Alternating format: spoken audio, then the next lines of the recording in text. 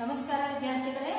ಹತ್ತನೇ ತರಗತಿ ವಿದ್ಯಾರ್ಥಿಗಳಿಗೆ ಭಾರತಕ್ಕೆ ಯುರೋಪಿಯನ್ನರ ಆಗಮನ ಈ ಪಾಠ ಈ ಅಧ್ಯಾಯ ಮೊದಲನೇ ಅಧ್ಯಾಯ ಇತಿಹಾಸದಲ್ಲಿ ಮೊದಲನೇ ಅಧ್ಯಾಯ ಈ ಅಧ್ಯಾಯವನ್ನು ನಾ ಏನ್ ಮಾಡಿದ ಅಂದ್ರೆ ಲಾಸ್ಟ್ ಎರಡು ಕ್ಲಾಸ್ ಆಗ್ಯಾವ ಸ್ಟಾರ್ಟ್ ಮಾಡಿದ ಏನ್ ಹೇಳಿದ ಅಂದ್ರ, ನಮ್ಮ ಭಾರತಕ್ಕೆ ಯುರೋಪಿಯನ್ನರು ಬಂದ್ರು, ಅದು ಬರ್ಲಿಕ್ಕೆ ಕಾರಣವೇನು? ಏನೇನು ಬಂದ್ರು ಅಂತೇಳಿ. ಮೊದಲನೇದಾಗಿ ಪೋರ್ಚುಗೀಸರು ಆಮೇಲೆ ಡಚ್ಚರು ಇಂಗ್ಲಿಷರು ಫ್ರೆಂಚರು ಹೀಗೆ ಒಬ್ಬೊಬ್ಬರಾಗಿ ವ್ಯಾಪಾರದ ದೃಷ್ಟಿಕೋನ ಇಟ್ಕೊಂಡು ಏನ್ ಮಾಡ್ತಾರ ಅಂದ್ರೆ ಭಾರತಕ್ಕೆ ಬರ್ತಾರ.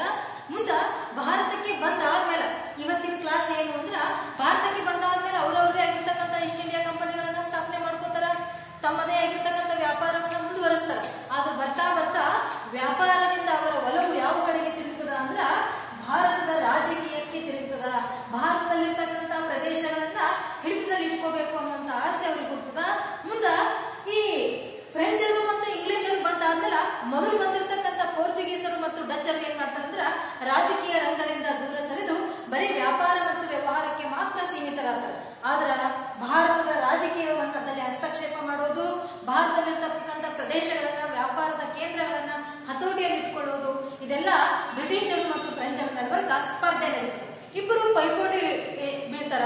ಆ ಪೈಪೋಟಿಯ ಪ್ರತಿಫಲನೇ ಏನು ಅಂದ್ರೆ ಕರ್ನಾಟಕ ಯುದ್ಧಗಳು ಅಂತ ಸಂಭವಿಸ್ತವ ಅಂತ ಲಾಸ್ಟ್ ಕ್ಲಾಸ್ನಾಗ ಹೇಳಿದ ಇವತ್ತಿನ ಕ್ಲಾಸ್ನಾಗ ಕರ್ನಾಟಕ ಯುದ್ಧಗಳು. ಯಾವ್ಯಾವ ಅಂದ್ರ ಮೊದಲನೇ ಕರ್ನಾಟಕ ಯುದ್ಧ, ಎರಡನೇ ಕರ್ನಾಟಕ ಯುದ್ಧ, ಮೂರನೇ ಕರ್ನಾಟಕ ಯುದ್ಧ ಅಂತ ಮೂರು ಕರ್ನಾಟಕ ಯುದ್ಧಗಳಾದವು. ಈ ಕರ್ನಾಟಕ ಪ್ರದೇಶ ಯಾವುದು ಅಂದ್ರ ತಮಿಳುನಾಡಿನ ಪೂರ್ವ ಭಾಗದ ಪ್ರದೇಶಕ್ಕೆ ಏನಂತ ಕರೀತಿದ್ರು ಅಂದ್ರ ಕರ್ನಾಟಿಕ್ ಭಾಗ ಅಂತ ಕರೀತಿದ್ರು ಕರ್ನಾಟಕ ಪ್ರದೇಶ ಅಂತ ಕರೀತಿದ್ರು ತಮಿಳುನಾಡಿನ ಪೂರ್ವದ ಭಾಗಕ್ಕೆ ಈಗ ಮೊದಲನೇ ಕರ್ನಾಟಕ ಯುದ್ಧ ನೋಡ್ರಿ ಇದು ಯಾಕೆ ಸಂಭವಿಸ್ತು ಅನ್ನೋದು ಅದಕ್ಕಿಂತ ಮುಂಚೆ ನೋಡ್ರಿ ಏನಂದ್ರೆ ಒಂದಿಷ್ಟು ವಿಷಯ ವಿಷಯ ಏನಂದ್ರ ಹದಿನೇಳುನೂರ ಇಪ್ಪತ್ನಾಲ್ಕರದಾಗ ಹೈದರಾಬಾದ್ ಸಂಸ್ಥಾನವನ್ನ ಅಸಫ್ ಜಾ ಎನ್ನುವಂತ ಒಬ್ಬ ವ್ಯಕ್ತಿ ಏನ್ ಮಾಡ್ತಾನ ಅಂದ್ರೆ ಸ್ಥಾಪನೆ ಮಾಡ್ತಾನ ಯಾರು ಸ್ಥಾಪನೆ ಮಾಡ್ತಾರ ಅಸಫ್ ಜಾ ಎನ್ನುವಂತ ಒಬ್ಬ ವ್ಯಕ್ತಿ ಏನ್ ಮಾಡ್ತಾನಂದ್ರ ಆ ಹೈದರಾಬಾದ್ ಸಂಸ್ಥಾನವನ್ನ ಹದಿನೇಳುನೂರ ಇಪ್ಪತ್ನಾಲ್ಕರ ಸ್ಥಾಪನೆ ಮಾಡ್ತಾನೆ ಅವನ ಅಧೀನದಾಗೆ ಇರ್ತದೆ ಯಾವುದು ಅಂದ್ರೆ ಈ ಕರ್ನಾಟಕ ಪ್ರದೇಶ ಆ ಅಸ್ಸಾಂ ಜಾನ ಹಿಡಿತದಲ್ಲಿನೇ ಇರ್ತದೆ ಇದು ಯಾವುದು ಕರ್ನಾಟಕ ಪ್ರದೇಶ ಅವಾಗ ತಾನೇ ಇಡೀ ಹೈದರಾಬಾದ್ ಸಂಸ್ಥಾನವನ್ನ ನೋಡ್ಕೊಳ್ಳಕ್ ಆಗ್ಲಾರ್ದಕ್ಕ ಅವ ಅಸ್ಸಾಂ ಜಾ ಏನ್ ಮಾಡ್ತಾನಂದ್ರ ದೋಸ್ತ್ ಅಲಿ ಎನ್ನುವಂತವನನ್ನ ಏನ್ ಮಾಡ್ತಾನ ಅಂದ್ರ ಆ ಆ- ಆ ಒಂದು ಪ್ರದೇಶ ಒಪ್ಪಿಸ್ತಾನ ದೋಸ್ತ್ ಅಲಿ ಎನ್ನುವಂತ ಒಬ್ಬ ವ್ಯಕ್ತಿಗೆ ಆ ಒಂದು ಪ್ರದೇಶವನ್ನ ಒಪ್ಪಿಸ್ತಾನೆ ಆಮೇಲೆ ಮರಾಠರು ಏನ್ ಮಾಡ್ತಾರ ಆ ಪ್ರದೇಶದ ಮೇಲೆ ಕಂಡಿಡ್ತಾರ ಹೆಂಗರೆ ಮಾಡಿ ಆ ಪ್ರದೇಶವನ್ನು ವಶಪಡಿಸಬೇಕು ಅಂತ ಅನ್ಕೊಂಡು ಹದಿನೇಳುನೂರ ನಲವತ್ತರದಾಗ ಹದಿನೇಳುನೂರ ನಲವತ್ತರದಾಗ ಏನ್ ಮಾಡ್ತಾರ ಅಂದ್ರ ಮರಾಠರು ಆ ದೋಸ್ತಲಿಯನ್ನ ಕೊಂದು ಏನ್ ಮಾಡ್ತಾರ ಅಂದ್ರ ಆ ಅವನ ಅಳಿಯ ಚ- ಅಂದ್ರ ಆ ಒಂದು ಅವ್ರ ಅಳಿಯ ಒಬ್ಬ ಚಂದಾ ಸಾಹೇಬ್ ಅಂತ ಇರ್ತಾರೆ ಅವನಿಗೆ ಸೆರೆಯ ಮನೆಯಲ್ಲಿ ಇರ್ತಾರೆ. ಅಂದ್ರೇನು ಅಸ್ಸಾಂ ಜಾ ನೇಮಕ ಮಾಡಿರ್ತಕ್ಕಂತಹ ದೋಸ್ತರಿಯನ್ನ ಮರಾಠರು ಕೊಂದು ಆ ದೋಸ್ತರಿಯ ಅಳಿಯನಾಗಿರ್ತಕ್ಕಂಥ ಚಂದಾ ಸಾಹೇಬನನ್ನ ಸೆರೆಯಲ್ಲಿ ಇಡ್ತಾರ. ಆಗ ಅಸ್ಸಾಂ ಜಾ ಏನ್ ಮಾಡ್ತಾನ ಅಂದ್ರ ಇವರಿಬ್ಬರು ಆ ಆಡಳಿತದಲ್ಲಿ ಇರದೇ ಇದ್ದಾಗ ಮತ್ತೆ ತನಗೆ ನಂಬಿಕಸ್ಥನಾಗಿರ್ತಕ್ಕಂಥ ವ್ಯಕ್ತಿಯನ್ನ ಆ ಒಂದು ಕರ್ನಾಟಕ ಪ್ರದೇಶಕ್ಕೆ ಏನ್ ಮಾಡ್ತಾನ ಅಂದ್ರೆ ನೇಮಕವನ್ನ ಮಾಡ್ತಾನ. ಮುಂದೆ ಇದು ಮೊದಲನೇ ಕರ್ನಾಟಕ ಯುದ್ಧ ಯಾಕೆ ಸಂಭವಿಸ್ತು ಅನ್ನೋದು ನೋಡ್ರಿ. ಏನಂದ್ರ ಮೊದಲನೇ ಕರ್ನಾಟಕ ಯುದ್ಧ ಹದಿನೇಳುನೂರ ನಲವತ್ತಾರರಿಂದ ನಲವತ್ತೆಂಟರವರೆಗೆ ನಡೀತದ. ಏನಂದ್ರ ಈಗ ಫ್ರೆಂಚ್ನ ಅಧಿಕಾರಿ ಇರ್ತಾನೆ ಯಾರು ಜನರಲ್ ಅಂದ್ರ ಡುಪ್ಲೆ. ಅವ ಏನ್ ಮಾಡ್ತಾನಂದ್ರ ಒಬ್ಬ, ಆ, ಫ್ರೆಂಚ್ನ ಸೇನಾ ಮುಖ್ಯಸ್ಥನಾಗಿರ್ತಕ್ಕಂಥ ಲಾಬೋರ್ಡಿನ ವ್ಯಕ್ತಿಗೆ ಹೇಳ್ತಾನೆ ಏನಂದ್ರ, ನೀನು ನಮ್ಮ ಭಾರತಕ್ಕೆ ಬಂದು ಈ ಸೇನಾ ಮುಖ್ಯಸ್ಥ ಇರ್ತಾನವ, ಫ್ರೆಂಚಿನ ಸೇನಾ ಮುಖ್ಯಸ್ಥ, ಬಂದು ಇಲ್ಲಿ ಇಲ್ಲಿರ್ತಕ್ಕಂಥ ಮದ್ರಾಸ್ ಎನ್ನುವಂತ ಪ್ರದೇಶ ಬ್ರಿಟಿಷರ ಕೈದಾಗದ ಅದನ್ನ ಬಂದು ನೀನು ವಶಪಡಿಸ್ಕೊಳ್ಬೇಕು ಅಂತ ಹೇಳಿದಾಗ ಅವ ಏನ್ ಮಾಡ್ತಾನ ಅಂದ್ರೆ, ಬಂದು ಬ್ರಿಟಿಷರಿಂದ ಮದ್ರಾಸ್ ಎನ್ನುವಂತ ಪ್ರದೇಶವನ್ನ ಏನ್ ಮಾಡ್ತಾನ ಅಂದ್ರ ವಶಪಡಿಸ್ಕೊತಾನ. ಆ ಟೈಮಿಗ ಬಹಳಷ್ಟು ಅಸಹಾಯಕರಾಗಿರ್ತಾರೆ ಬ್ರಿಟಿಷರು. ಅವಾಗ ಅವರು ಆ ಮದ್ರಾಸ್ನ ಉಳಿಸ್ಕೋಬೇಕು ಅಂತ ಹೇಳಿ ಯಾರ ಸಹಾಯವನ್ನ ಕೇಳ್ತಾರ ಅಂದ್ರ ಆಗ್ಲೇ ಹೇಳ್ದಲ್ಲ ಅನ್ವರುದ್ದೀನ್ ಕರ್ನಾಟಕ ಪ್ರದೇಶದ ಆ ಒಂದು ನವಾಬನಾಗಿರ್ತಕ್ಕಂಥ ಅನ್ವರುದ್ದೀನ್ ನನಗೆ ಏನ್ ಮಾಡ್ತಾರಂದ್ರ ಸಹಾಯವನ್ನ ಕೇಳ್ತಾರ ಮದ್ರಾಸಿನಿಂದ ಹೊರಗಟ್ಟಲು, ಮದ್ರಾಸ್ನಿಂದ ಫ್ರೆಂಚರನ್ನ ಹೊರಗಟ್ಟುವ ಸಲುವಾಗಿ ಅನ್ವರುದ್ದೀನ್ ಏನ್ ಮಾಡ್ತಾನಂದ್ರೆ ದೊಡ್ಡ ಪ್ರಮಾಣದಲ್ಲಿ ಸೈನ್ಯವನ್ನ ಕಳಿಸ್ತಾನ. ಆದ್ರೂ ಕೂಡ ಅವನ ಸೈನ್ಯ ಫ್ರೆಂಚರ ಸೈನ್ಯ ಎದುರು ಸೋತು ಬಿಡ್ತದ ಫ್ರೆಂಚರೇ ಗೆದ್ದಿತಾರ ಆದ್ರ ಫ್ರೆಂಚರು ಆ ಪ್ರದೇಶವನ್ನ ಗೆದ್ ಆ, ವಶಪಡಿಸ್ಕೊಂಡಿರ್ತಾರ ಅನ್ವರುದ್ದೀನ್ ಅದನ್ನ ಉಳಿಸಿಕೊಳ್ಳುವುದಕ್ಕೆ ಆಗಲ್ಲ ಆದರೂ ಕೂಡ ಆ ಲಾಂಬೋರ್ಡ್ ಆ ವಿಷಯವನ್ನ ಡೂಪ್ಲೇಟ್ ತಿಳಿಸಲಾರ್ದೇನೆ. ಆ ವಿಷಯವನ್ನ ಗೆದ್ದಿರ್ತಕ್ಕಂಥ ವಿಷಯವನ್ನ ಡೂಪ್ಲೇಟ್ ತಿಳಿಸಲಾರ್ದೇನೆ. ಆ ಬ್ರಿಟಿಷರಿಂದ ಲಂಚವನ್ನ, ಹಣವನ್ನ ಪಡ್ಕೊಂಡು ಮದ್ರಾಸನ್ನ ಅವ್ರದವ್ರಿಗೆ ಏನ್ ಮಾಡ್ತಾನ ಅಂದ್ರ ಬಿಟ್ಕೊಡ್ತಾನ ಬಿಟ್ಟು ಮಾರಿಷ್ ಎನ್ನುವಂತ ಪ್ರದೇಶಕ್ಕೆ ಏನ್ ಮಾಡ್ತಾನ ಅಂದ್ರ ಹೊರಟು ಹೋಗ್ಬಿಡ್ತಾನ. ಇದರಿಂದ ಯಾರಿಗೂ ಕೋಪ ಬರ್ತದ ಅಂದ್ರೆ ಡೂಪ್ಲೇಟ್ ಕೋಪ ಬರ್ತದ. ಮದ್ರಾಸನ್ನ ವಶಪಡಿಸಿಕೊಂಡರೂ ಕೂಡ ಬ್ರಿಟಿಷರ ಹಣವನ್ನ ಪಡೆದುಕೊಂಡು ಅವರಿಗೆ ಆ ಪ್ರದೇಶವನ್ನ ವಾಪಸ್ ಕೊಟ್ಟು ಮಾರಿಷ್ಗೆ ಓಡ್ ಹೋದಲ್ಲ ಅಂತೇಳಿ ಕೋಪಗೊಂಡಿರ್ತಕ್ಕಂತ ಡೂಪ್ಲೆ ಮತ್ತೆ ಆ ಮದ್ರಾಸನ ಬ್ರಿಟಿಷರಿಂದ ವಶಪಡಿಸ್ಕೋಬೇಕು ಅಂತೇಳಿ ಪ್ರಯತ್ನವನ್ನ ಮಾಡ್ತಾನ ಆದ್ರ ಆ ಪ್ರಯತ್ನ ಏನಾಗಲ್ಲ ಅಂದ್ರೆ ಸಫಲ ಆಗಲ್ಲ. ಆ ಮದ್ರಾ ಪ್ರದೇಶ ಮದ್ರಾಸ್ ಪ್ರದೇಶ ಯಾರು ಉಳ್ಕೊಂಡು ಬಿಡ್ತದ ಅಂದ್ರೆ ಬ್ರಿಟಿಷರ ಬಳಿಯೇ ಉಳ್ಕೊಂಡು ಬಿಡ್ತದ. ಈ ಯುದ್ಧ ಹೀಗೆ ನಡೀತಿರ್ತದೆ, ಇದು ಕೊನೆ ಆಗ್ತದೆ. ಯಾಕಂದ್ರ ಯುರೋಪಿನಲ್ಲಿಯೂ ಕೂಡ ಫ್ರಾನ್ಸರಿಗೂ ಮತ್ತು ಫ್ರಾನ್ಸ್ ದೇಶಕ್ಕೂ ಮತ್ತು ಇಂಗ್ಲೆಂಡ್ ದೇಶಕ್ಕೂ ಏನಿರ್ತದೆ ಅಂದ್ರೆ, ಆ ಯುದ್ಧ ನಡೀತಿತ್ತು. ಅಲ್ಲಿಯೂ ಕೂಡ ಏನಾಗ್ತದೆ ಅಂದ್ರ ಎಕ್ಸ್ ಲಾ ಚಾಪೆ ಅನ್ನುವಂತ ಒಂದು ಒಪ್ಪಂದ ಆಗ್ತದೆ. ಯುರೋಪ್ನಾಗ ಆಗ್ತದೆ ಒಪ್ಪಂದ ಎಕ್ಸ್ ಲಾ ಚಾಪೆಲ್ ಅನ್ನುವಂತ ಒಪ್ಪಂದ ಯುರೋಪಿನ ಎರಡೂ ದೇಶಗಳ ಮಧ್ಯದಲ್ಲಿ ಆಗ್ತದ ಅದೇ ಒಪ್ಪಂದ ಭಾರತದಲ್ಲಿಯೂ ಕೂಡ ಅನ್ವಯ ಆಗಿ ಈ ಮೊದಲನೇ ಕರ್ನಾಟಕ ಯುದ್ಧ ಇಲ್ಲಿಗೆ ಮುಕ್ತಾಯ ಆಗ್ಬಿಡ್ತದ. ಇನ್ನು, ಈಗ ನೆಕ್ಸ್ಟ್ ಎರಡನೇ ಕರ್ನಾಟಕ ಸ್ಟಾರ್ಟ್ ಆಗ್ತದೆ ಮುಂದೆ? ಯಾವಾಗಂದ್ರೆ ಹದಿನೇಳು ನಲವತ್ತೊಂಬತ್ತಕ್ಕ ಅದಕ್ಕಿಂತ ಮುಂಚೆ ಏನಾಗ್ತದೆ ನೋಡ್ರಿ? ಈಗ ಹೈದರಾಬಾದ್ನ ಸಂಸ್ಥಾನದ ನಿಜಾಮನಾಗಿರ್ತಕ್ಕಂಥ ಅಸಫ್ ಜಾ ಹದಿನೇಳು ನಲವತ್ತೆಂಟಕ್ಕೆ ಮರಣ ಇಡೀ ಹೈದರಾಬಾದ್ ಸಂಸ್ಥಾನವನ್ನ ಸ್ಥಾಪನೆ ಮಾಡಿರ್ತಕ್ಕಂಥ ಅವನು ಅವನು ಅವನ ಹಿಡಿತದಲ್ಲೇ ಇರ್ತದೆ ಈ ಕರ್ನಾಟಕ ಪ್ರದೇಶ ಅವ ಹದಿನೇಳು ನಲವತ್ತೆಂಟರದ ಮರಣ ಹೊಂದುತ್ತಾನ ಅವ ಮರಣ ಹೊಂದಿದ ನಂತರ ಅವನ ಮಗನಾಗಿರ್ತಕ್ಕಂಥ ನಾಸಿರ್ ಜಂಗ ಮತ್ತ ಅವನ ಮೊಮ್ಮಗನಾಗಿರ್ತಕ್ಕಂಥ ಮುಸ ಮುಜಾಫರ್ ಜಂಗ್. ಇಬ್ಬರ ನಡುವರ ಕಿತ್ತಾಟ ಸ್ಟಾರ್ಟ್ ಆಗ್ತದ? ಎದ್ರ ಸಲುವಾಗಿ ಅಂದ್ರ ಆ ಹೈದರಾಬಾದ್ ಸಂಸ್ಥಾನದ ಅಧಿಕಾರದ ಸಲುವಾಗಿ ಕಲಹ ಆರಂಭ ಆಗ್ತದ. ಅತ್ತ ಕರ್ನಾಟಕದಲ್ಲೂ ಕೂಡ. ಅಲ್ಲಿ ಹೈದರಾಬಾದ್ ಸಂಸ್ಥಾನದ ಸ್ಥಾನಕ್ಕಾಗಿ ಆ ಒಂದು ಆ, ರಾಜಕೀಯ ಸ್ಥಾನಕ್ಕಾಗಿ ಪೈಪೋಟಿ ನಡೆದ್ರ ಇಲ್ಲಿ ಕರ್ನಾಟಕ ಪ್ರದೇಶದಲ್ಲಿ ಈ ಕರ್ನಾಟಕ ಪ್ರದೇಶದಲ್ಲಿನೂ ಕೂಡ ಚಂದಾ ಸಹಾಯ ಮತ್ತು ಅನ್ವರುದ್ದೀನ್ ಇಬ್ಬರ ನಡುವರ್ಗ ಸಿಂಹಾಸನಕ್ಕಾಗಿ ಕಿತ್ತಾಟ ನಡೆದಿರ್ತದ. ಈ ಈ ಸಮಯದಲ್ಲಿ ಫ್ರೆಂಚರು ಹೈದರಾಬಾದಿನ ಮುಜಾಫರ್ ಜಂಗನಿಗೂ ಕರ್ನಾಟಕದಲ್ಲಿರ್ತಕ್ಕಂಥ ಚಂದಾ ಸಾಹೇಬನಿಗೂ ಹೆಲ್ಪ್ ಮಾಡ್ತಾರ ಬೆಂಬಲ ನೀಡ್ತಾರ ಇದಕ್ಕೂ ವಿರುದ್ಧವಾಗಿ ಬ್ರಿಟಿಷರು ಅವರು ನಾಸಿರ್ ಜಂಗನಿಗೂ ಮತ್ತು ಅನ್ವರುದ್ದೀನಿಗೂ ಬೆಂಬಲವನ್ನು ನೀಡ್ತಾರೆ ಅಂದ್ರ ದೇಶೀಯ ಅರಸರ ಸಂಸ್ಥಾನದ ಕಿತ್ತಾಟದಲ್ಲಿ ಹಸ್ತಕ್ಷೇಪ ಮಾಡ್ತಾರೆ ಯಾರು ಅಂದ್ರ ಬ್ರಿಟಿಷರು ಹಸ್ತಕ್ಷೇಪ ಮಾಡ್ತಾರ ಫ್ರೆಂಚರು ಹಸ್ತಕ್ಷೇಪ ಮಾಡ್ತಾರ ತಮ್ಮ ತಮ್ಮ ರಾಜಕೀಯ ಲಾಭವನ್ನ ಪಡೆದುಕೊಳ್ಳುವ ದೃಷ್ಟಿಯಿಂದ ತಮಗಿಷ್ಟವಿರುವ ಅರಸರಿಗೆ ಏನ್ ಮಾಡ್ತಾರ ಅಂದ್ರ ಸಹಾಯವನ್ನ ಮಾಡಿ ಅವರವರ ಮಧ್ಯದಲ್ಲೇ ಪೈಪೋಟಿ ತೀವ್ರವಾಗುವ ರೀತಿಯಲ್ಲಿ ಏನ್ ಮಾಡ್ತಾರಂದ್ರ ಈ ಯುರೋಪಿಯನ್ ಮಾಡ್ತಾರ? ಹದಿನೇಳುನೂರ ನಲವತ್ತೊಂಬತ್ತರಾಗ ಚಂದಾ ಸಹಾಯ ಮತ್ತು ಮುಜಾಫರ್ ಜಂಗ್ ಮತ್ತು ಫ್ರೆಂಚ್ ಪಡೆಗಳು ಒಂದಾಗಿ ಅನ್ವರುದ್ದೀನ್ ಏನ್ ಮಾಡ್ತಾವ ಅಂದ್ರ ಸೋಲಿಸಿ ಕೊಲೆ ಮಾಡ್ಬಿಡ್ತವ. ಇದರ ಪರಿಣಾಮವಾಗಿ ಚಂದಾ ಸಾಹೇಬ್ ಏನ್ ಮಾಡ್ತಾನಂದ್ರೆ ಮತ್ತ ತನ್ನ ವಿರೋಧಿ ಆಗಿರ್ತಕ್ಕಂಥ ಅನ್ವರುದ್ದೀನ್ ಸತ್ತ. ಈಗ ಯಾರು ಕರ್ನಾಟಕ ಪ್ರದೇಶದ ನವಾಬ ಅಂದ್ರ ಚಂದಾ ಸಾಹೇಬ್ ಆಗ್ಬಿಟ್ಟ? ಅನ್ವರುದ್ದೀನ್ನ ಮಗನ ಬ್ರಿಟಿಷರ ನೆರವಿನಿಂದ ತಿರುಚನಾಪಳ್ಳಿ ಅನ್ನುವಂತ ಒಂದು ಪ್ರದೇಶವನ್ನ ತಗೊಂಡು ಅಲ್ಲೇನ್ ಮಾಡ್ತಾನಂದ್ರೆ ಆಡಳಿತ ಮಾಡ್ಲಿಕ್ಕೆ ಸ್ಟಾರ್ಟ್ ಮಾಡ್ತಾನೆ ತನ್ನ ತನ್ನ ತಂದೆ ಸತ್ತಾದ್ಮೇಲೆ ಬ್ರಿಟಿಷರ ನೆರವಿನಿಂದ ಇರುವಂತ ಅಷ್ಟೇ ತಿರುಚನಾಪಳ್ಳಿ ಸುತ್ತಮುತ್ತಲಿನ ಪ್ರದೇಶವನ್ನ ಇಟ್ಕೊಂಡು ಆಡಳಿತ ಮಾಡ್ತಾನೆ. ಇನ್ನು ಹೈದರಾಬಾದ್ ಮುಜಾಫರ್ ಜಂಗರ್ ಮತ್ತು ನಾಸಿರ್ ಜಂಗನ್ ನಡೆದಿರ್ತದೆ ಕಿತ್ತಾಟ. ಅದರಲ್ಲಿ ಹೈದರಾಬಾದಿನಲ್ಲಿ ಮುಜಾಫರ್ ಜಂಗನು ಚಂದಾ ಸಹಾಯಕ ಮತ್ತು ಫ್ರೆಂಚರ ಸಹಾಯದಿಂದ ನಾಸಿರ್ ಜಂಗನನ್ನ ಕೊಂದು ನಿಜಾಮನಾತನ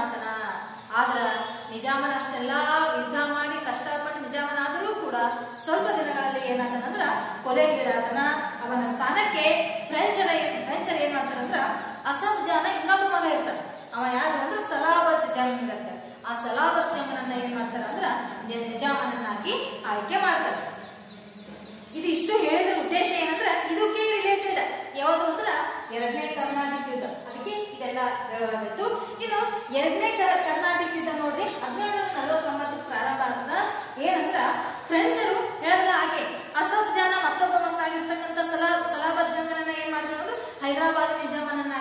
ಆಯ್ಕೆ ಮಾಡ್ಬಿಟ್ರು. ಬರೀ ಆಯ್ಕೆ ಮಾಡಿದ್ರೆ ಅಷ್ಟೇ ಸಾಕು ಅವನಿಗೆಲ್ಲ ವಿರೋಧಿಗಳು ಇರ್ತಾರ. ಅದಕ್ಕಾಗಿ ಫ್ರೆಂಚರ್ ಏನ್ ಮಾಡ್ತಾರ ಅಂದ್ರೆ ಯಾವುದೇ ಕೇಡು ಉಂಟಾಗಬಾರ್ದು, ಅವನು ಕೂಡ ಹತ್ಯೆಗೀಡಾಗಬಾರದು ಅನ್ನುವಂತ ಉದ್ದೇಶದಿಂದ ತಮ್ಮ ಸೈನ್ಯವನ್ನ, ಫ್ರೆಂಚರು ತಮ್ಮ ಸೈನ್ಯದ ಸಹಿತ ಬುಸ್ಸಿಯನ್ನ ಅವನ ರಕ್ಷಣೆಗೋಸ್ಕರ ಸೇನಾಧಿಕಾರಿಯಾಗಿರ್ತಕ್ಕಂತ ಗುಸ್ಸಿ ಎಂಬ ಅಧಿಕಾರಿಯನ್ನ ಅವನ ರಕ್ಷಣೆಗೋಸ್ಕರ, ಯಾರ ರಕ್ಷಣೆಗೋಸ್ಕರ? ಸಲಾಬತ್ ಜಂಗನ ರಕ್ಷಣೆಗೋಸ್ಕರ ಇಟ್ಬಿಡ್ತಾರ. ಫ್ರೆಂಚರ ಬೆಂಬಲದಿಂದ ಪ್ರಭಾವನಾಗಿದ್ದನು ಆದರೆ ಈಸ್ಟ್ ಇಂಡಿಯಾ ಕಂಪನಿಯ ಅಧಿಕಾರಿ ರಾಬರ್ಟ್ ಕ್ಲೈವ್ ಹೊಸದಾಗಿ ಬರ್ತನ ಯಾರಂದ್ರ ಈಸ್ಟ್ ಇಂಡಿಯಾ ಕಂಪನಿಯ ಅಧಿಕಾರಿಯಾಗಿರ್ತಕ್ಕಂಥ ರಾಬರ್ಟ್ ಕ್ಲೈವ ಕರ್ನಾಟಕದ ರಾಜಧಾನಿ ಅರ್ಕಾಟಿನ ಮೇಲೆ ಏನು ಮಾಡ್ತಾನ ಅಂದ್ರೆ ಮಾಡಿ ಫ್ರೆಂಚರು ಮತ್ತು ಚಂದಾ ಸಾಹೇಬನನ್ನ ಸೋಲಿಸಿ ಈ ಯುದ್ಧದಲ್ಲಿ ಚಂದಾ ಸಾಹೇಬನನ್ನ ಬಂಧಿಸಿ ಹತ್ಯೆ ಮಾಡಿ ಆ ಸ್ಥಾನಕ್ಕೆ ಬ್ರಿಟಿಷರ ಅನ್ವರುದ್ದಿನ ಮಗ. ಬ್ರಿಟಿಷರ ಏನ್ ಅನ್ವರುದ್ದಿನ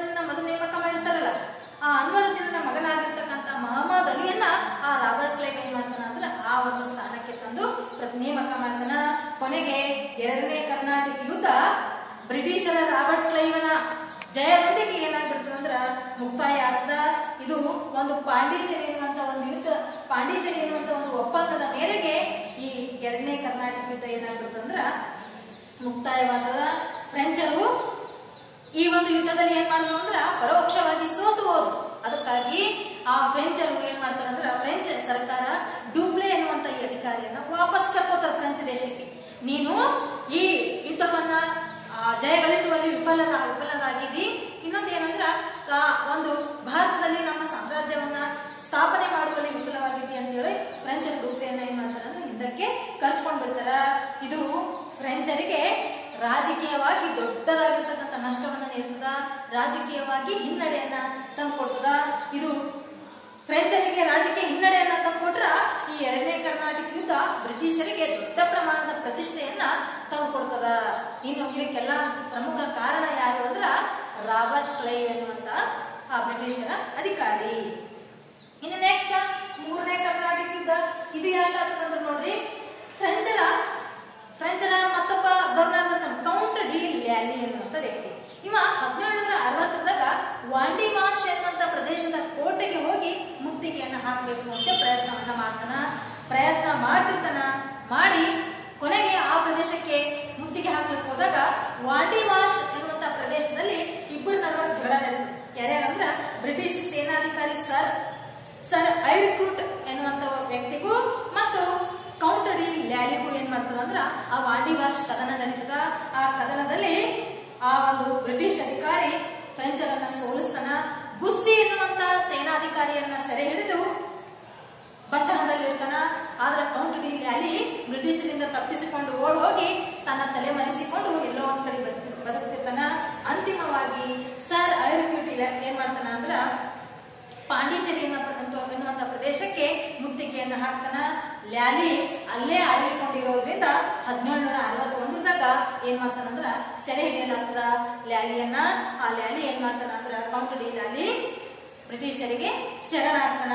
ಅದರ ಈ ಒಂದು ಕೌಂಟಡಿ ಡಿ ಲ್ಯಾಲಿ ಆ ಬ್ರಿಟಿಷ್ ಸರ್ ಐರ್ಕೂಟನಿಗೆ ಶರಣಾಗುವ ಮುಖಾಂತರ ಈ ಮೂರನೇ ಕರ್ನಾಟಕ ಯುದ್ಧ ಕೂಡ ಏನಾಗ್ತದಂದ್ರ ಮುಕ್ತಾಯ ಆಗ್ತದ. ಈ ಯುದ್ಧದ ಪರಿಣಾಮವಾಗಿ ಫ್ರೆಂಚರು ತಮ್ಮ ಭಾರತದಲ್ಲಿರ್ತಕ್ಕಂಥ ತಮ್ಮ ಎಲ್ಲ ವ್ಯಾಪಾರ ಕೇಂದ್ರಗಳನ್ನ, ಎಲ್ಲ ತಮ್ಮ ಬ- ಉಳಿ- ಉಳಿದುಕೊಂಡು ಕೊಂಡಿರ್ತಕ್ಕಂಥ ನೆಲೆಗಳನ್ನ ಎಲ್ಲ ಕಳ್ಕೊಂಡು ಬಿಡ್ತಾರೆ. ಎಲ್ಲ ಯಾವ ವಶಕ್ಕೆ ಹೋಗ್ಬಿಡ್ತಾವ ಅಂದ್ರೆ ಬ್ರಿಟಿಷರ ವಶಕ್ಕೆ ಹೋಗ್ಬಿಡ್ತಾವ. ಆದ್ರ ಹದಿನೇಳರ ಅರವತ್ತ್ ಮೂರಕ್ಕೆ ಯುದ್ಧ ಮುಗಿತದಲ್ಲ, ಮೂರನೇ ಕರ್ನಾಟಕ ಯುದ್ಧ, ಅವಾಗ ಒಂದು ಒಪ್ಪಂದ ಯಾವ್ದಂದ್ರ? ಪ್ಯಾರಿಸ್ ಒಪ್ಪಂದ ಅಂತ ಒಂದು ಒಪ್ಪಂದ ಆಗ್ತದ ಆ ಒಪ್ಪಂದದ ಪ್ರಕಾರ, ಆ ಒಪ್ಪಂದದಾಗ ಏನಿರ್ತದ ಅಂದ್ರ, ನೀವು ಫ್ರೆಂಚರು ವ್ಯಾಪಾರಕ್ಕೆ ಮಾತ್ರ ಸೀಮಿತರಾಗಿರ್ರಿ ಭಾರತದಾಗ ರಾಜಕೀಯದಲ್ಲಿ ನಮ್ಮ ಜೊತೆ ನೀವು ಪೈಪೋಟಿ ಮಾಡುವ ಹಾಗಿಲ್ಲ. ಹಂಗಂದ್ರೆ ನಾವೇನ್ ಮಾಡ್ತೇವೆ ಅಂದ್ರೆ ನಿಮ್ಗ ನಿಮ್ಮ ಪ್ರದೇಶ ಪಾಂಡಿಚೇರಿಯನ್ನ ವಾಪಸ್ ಕೊಟ್ಟು ಬಿಡ್ತೇವೆ ಅಂತೇಳಿ ಒಪ್ಪಂದವನ್ನ ಮಾಡ್ಕೊತಾರ ಯಾರು ಅಂದ್ರ ಬ್ರಿಟಿಷರು ಫ್ರೆಂಚರ ಜೊತೆಗೆ ಒಪ್ಪಂದ ಮಾಡ್ಕೊತಾರೆ ಇನ್ನು ಮುಂದೆ ನೀವು ಭಾರತದಲ್ಲಿ ನಮಗ್ ಪೈಪೋಟಿಯಾಗಿ ನಿಲ್ಲಬಾರದು ನೀವು ಬರೀ ವ್ಯಾಪಾರಕ್ಕೆ ಮಾತ್ರ ಸೀಮಿತವಾಗಿರ್ಬೇಕು. ರಾಜಕೀಯದಲ್ಲಿ ಹಸ್ತಕ್ಷೇಪ ಮಾಡಬಾರ್ದು. ನಮ್ಮ ಜೊತೆ ಯುದ್ಧಕ್ಕಿಳಿಬಾರ್ದು ಅಂತೇಳಿ ಒಂದು ಬೇಷರತ್ತಾಗಿರ್ತಕ್ಕಂಥ ಏನಾಗುತ್ತ ಅಂದ್ರೆ ಈ ಒಪ್ಪಂದವನ್ನ ಮಾಡ್ಕೋತಾರ. ಈ ಒಪ್ಪಂದದೊಂದಿಗೆ, ಆ ಪ್ಯಾರಿಸ್ ಒಪ್ಪಂದದೊಂದಿಗೆ ಫ್ರೆಂಚರಿಗೆ ಪಾಂಡಿಚೇರಿಯನ್ನು ವಾಪಸ್ ಕೊಡಲಾಗ್ತದ. ದಕ್ಷಿಣ ಭಾರತದಲ್ಲಿ ಫ್ರೆಂಚರ್ ಏನಾಗಿರ್ತಾರೆ ಅಂದ್ರೆ ಬರೀ ವ್ಯಾಪಾರಕ್ಕೆ ಮಾತ್ರ ಸೀಮಿತರಾಗಿರ್ತಾರ. ಅನಿವಾರ್ಯವಾಗಿ ಅವರು ಮೂಲೆ ಗುಂಪಾಗುವಂತ ಪರಿಸ್ಥಿತಿ ಬಂದೇ ಬಿಡುತ್ತ ಬ್ರಿಟಿಷರು ತಮ್ಮ ಇತರ ಯುರೋಪಿಯನ್ ಪ್ರತಿಸ್ಪರ್ಧಿಗಳನ್ನೆಲ್ಲ ದಮನ ಮಾಡಿ ಕೊನೆಗೆ ಬಲಿಷ್ಠವಾಗಿರ್ತಕ್ಕಂಥ ಏಕೈಕ ಒಂದೇ ಒಂದು ದೇಶ ಉಳ್ಕೊಂಡು ಬಿಡುವುದು ಭಾರತದಲ್ಲಿ. ರಾಜಕೀಯ ಹಸ್ತಕ್ಷೇಪ ಮಾಡಲು, ರಾಜಕೀಯವಾಗಿ ಬಲಿಷ್ಠರಾಗಲು, ರಾಜಕೀಯವಾಗಿ ಸಾಮ್ರಾಜ್ಯವನ್ನ ಸ್ಥಾಪನೆ ಮಾಡಲು ಬ್ರಿಟಿಷರು ಒಬ್ಬರೇ ಉಳ್ಕೊಂಡು ಉಳ್ಕೊಂಡ್ಬಿಡ್ತಾರ. ಅವರಿಗೆ ಪ್ರತಿಸ್ಪರ್ಧಿಗಳಾಗಿ ಯಾರೂ ಇರಲ್ಲ. ನೆಕ್ಸ್ಟ್ ಇನ್ನು ರಾಬರ್ಟ್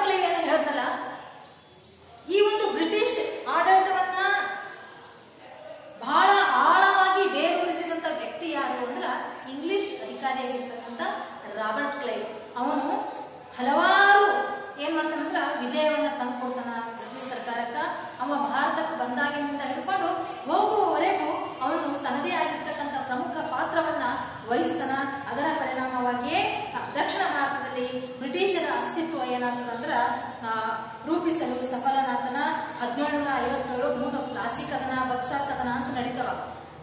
ಆ ಎರಡೂ ಕದನಗಳು ಭಾರತದಲ್ಲಿ ಈ ರಾಬರ್ಟ್ ಕ್ಲೈವ್, ಅಂದ್ರ ಕ್ಲಾಸಿ ಕದನ ನಡೆದಾಗ್ಲೂ ತನ್ನದೇ ಆಗಿರ್ತಕ್ಕಂಥ ಪ್ರಭಾವವನ್ನ ಬೀರಿ, ಆ ಇಂಗ್ಲಿಷ್ ಸಾಮ್ರಾಜ್ಯವನ್ನ ಸಂಪೂರ್ಣವಾಗಿ ಸ್ಥಾಪನೆ ಮಾಡ್ತಾರೆ.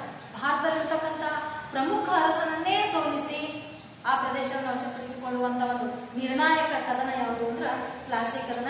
ಹೀಗೆ ಹಲವಾರು ಕದನಗಳನ್ನ ಮಾಡಿ ಬ್ರಿಟಿಷ್ ಈಸ್ಟ್ ಇಂಡಿಯಾ ಕಂಪನಿಗೆ ಲಾಭವನ್ನ ತಂದುಕೊಡ್ತಾನ, ಅಪಾರ ಸಂಪತ್ತನ್ನ ಕೊಳ್ಳೆ ಹೊಡ್ಕೊಂಡು ಅತ ಅಪಾರವಾಗಿರ್ತಕ್ಕಂಥ ಭಾರತದಲ್ಲಿರ್ತಕ್ಕಂಥ ಸಂಪತ್ತನ್ನ ಗೆದ್ದು ರಾಬರ್ಟ್ ಕ್ಲೈವ್ ಏನ್ ಮಾಡ್ತಾನ ಅಂದ್ರ, ಆ, ತನ್ನ ಇಂಗ್ಲೆಂಡ್ ದೇಶಕ್ಕೆ ಹಿಂತಿರುಗ್ತಾನ. ಸಂಸತ್ತಿನ ಸದಸ್ಯನಾಗಿ ನೇಮಕ ಆತನ.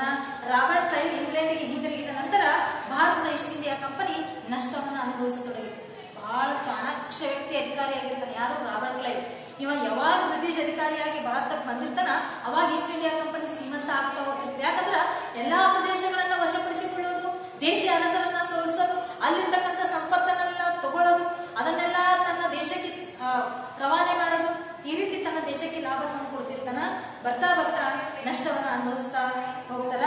ರಾಬರ್ಟ್ ಕ್ಲೈವ್ ಬ್ರಿಟಿಷರ ಘನತೆ ಮತ್ತು ಹಿತಾ ಹಿತಾಸಕ್ತಿಗಳನ್ನು ಕಾಪಾಡುವ ಸಲುವಾಗಿ ಭಾರತಕ್ಕೆ ಸೇನಾಪತಿ ಸೇನಾಧಿಪತಿಯಾಗಿ ಕಳಿಸಿಕೊಡ್ತಾರ.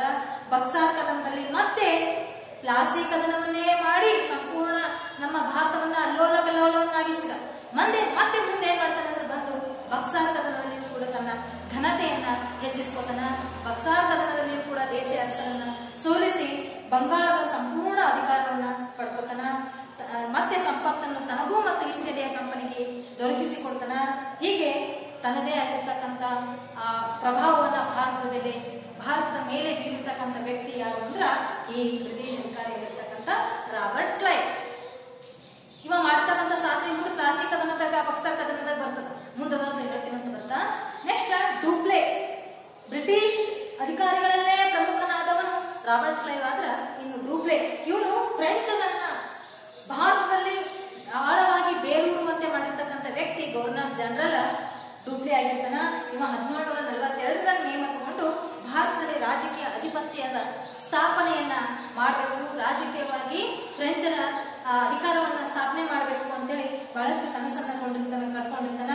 ಡೂಪ್ಲೆ ಕಟ್ಟಿದ ದೇಶೀಯ ಸೇನೆಯಿಂದಲೇ ಹೈದರ್ ಸಹ ತರಬೇತಿ ಪಡೆದಿದ್ದಾನೆ ಅಂದ್ರ ಇವ ಡೂಪ್ಲೆ ಏನ್ ಮಾಡ್ತಾನಂದ್ರ ದೇಶೀಯ ಸೇನೆ ಕಟ್ಟಿರ್ತಾನೆ ಭಾರತಕ್ಕೆ ಬಂದಾಗ. ಅವಾಗ ಹೈದರ್ ಕೂಡ ಅದೇ ಸೇನೆಯಲ್ಲಿ ತರಬೇತಿಯನ್ನ ಪಡ್ಕೊಂಡಿರ್ತಾನ ಬ್ರಿಟಿಷರಿಗೆ ಡೂಪ್ಲೆಯು ತಮ್ಮ ಅಧಿಪತ್ಯ ಸ್ಥಾಪನೆಗೆ ಸವಾಲಾಗಿ ಕಂಡಿದ್ದಾನೆ.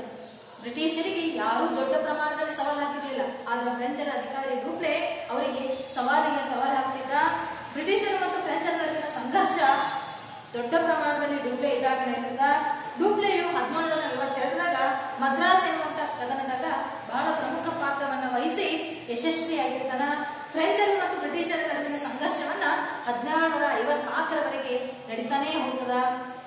ಅದಾದ ನಂತರ ಫ್ರಾನ್ಸಿನ ಸರ್ಕಾರ ಶಾಂತಿಯನ್ನ ಬಯಸಿ ಡೂಪ್ಲೆಯನ್ನ ಏನ್ ಮಾಡ್ಕೊಂಡು ಬಿಡ್ತಾರ ಅಂದ್ರೆ ವಾಪಸ್ ಫ್ರೆಂಚ್ ದೇಶಕ್ಕೆ ಕರ್ಕೊಂಡ್ ಬಿಡ್ತಾರ ಈ ರೀತಿ ಯುರೋಪಿನಿಂದ ಬಂದಿರತಕ್ಕಂತ ಹಲವಾರು ಯುರೋಪ್ ದೇಶದ ದೇಶೀಯರನ್ನ, ವ್ಯಾಪಾರಸ್ಥರನ್ನ ಮೂಲ ಗುಂಪಾಗಿಸಿ ಕೊನೆಗೆ ತನ್ನದೇ ಆಗಿರ್ತಕ್ಕಂತ ಭಾರತದಲ್ಲಿ ಛಾಪನ್ನ ಮೂಡಿಸಿದವರು ಯಾರು ಅಂದ್ರ ಬ್ರಿಟಿಷರು ಅಂತೇಳಿ ಹೇಳ್ಬೋದು.